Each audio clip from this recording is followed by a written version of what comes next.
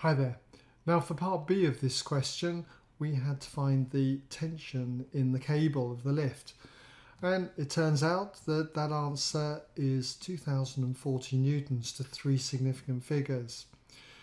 So in the previous part, part A, we marked in all these forces acting on the lift and so it's very easy just to find out this tension by resolving in the direction of motion because we now know the acceleration A from part A, it was 1.2 meters per second per second.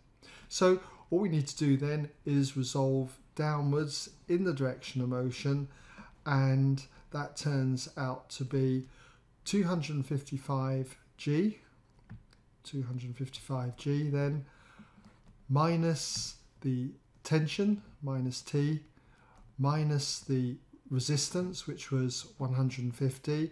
That's the resultant force on the lift. And this is equal to the mass, which we now know is 200 plus the mass of the crate, so that's 255 kilograms. And it's got an acceleration of 1.2. Okay, so if you rearrange this for t, you should find that you end up with t equaling 2043. And if you round that, as I say, to three significant figures, it's 2040 newtons then. Okay, so hope that's given you some idea if that caused any problems.